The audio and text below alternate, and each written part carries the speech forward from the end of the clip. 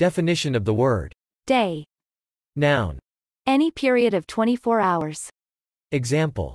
I've been here for two days and a bit. A period from midnight to the following midnight.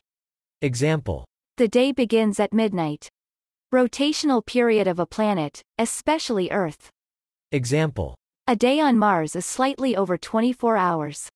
The part of a day period which one spends at one's job, school, etc. Example. I worked two days last week. Part of a day period between sunrise and sunset where one enjoys daylight, daytime. Example. Day and night. I work at night and sleep during the day. A specified time or period. Time, considered with reference to the existence or prominence of a person or thing. Age. Time. Example. Every dog has its day.